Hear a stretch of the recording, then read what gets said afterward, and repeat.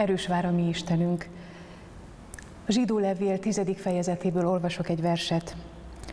A reménység hitvallásához szilárdan ragaszkodjunk. Nagyon sok ember él körülöttünk reménytelenül. Csak rájuk kell nézni, és látjuk, hogy mosolyognak, de a tekintetük az halott. Beszélnek, de olyan, mintha a hangjukban nem lenne muzsika. Olyanok, mint egy próbababák, akik fel vannak ugyan öltöztetve, de nem jutnak sehová, mert reményvesztettek.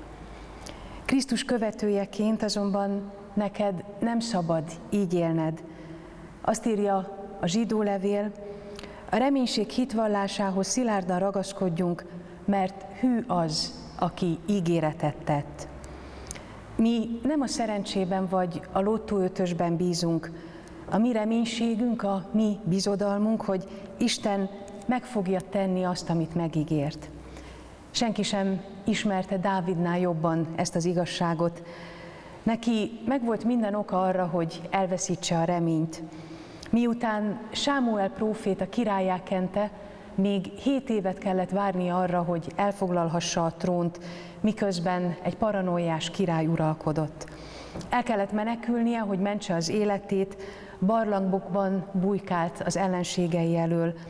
Végig kellett néznie, ahogyan Izraelt legyőzték, a barátait megölték, a családját elhurcolták, de ő mégsem tántorodott meg soha, és olyan körülményekkel szembenézve, amelyek sokunkat elpusztítanának, a Zsoltárban ezt mondja Dávid, egyedül benned reménykedtem, este szállást vesz a sírás, reggelre itt az újongás. Más szavakkal a dolgok jóra fognak fordulni. És ilyen hozzáállással nem lehet veszíteni. Dávid király lett, mert sohasem veszítette el az Istenbe vetett bizalmát. Ezek az ígéretek segítettek neki összpontosítania, ezek tartották a helyzet magaslatán, ezek miatt tudott mindig tovább menni. Neked mit ígért az Isten?